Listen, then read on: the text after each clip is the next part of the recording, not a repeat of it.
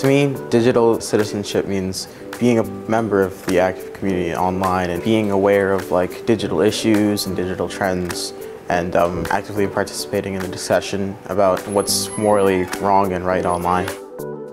It's important that educators ensure that students have opportunities to practice cultivating all kinds of relationships, including those with other digital citizens.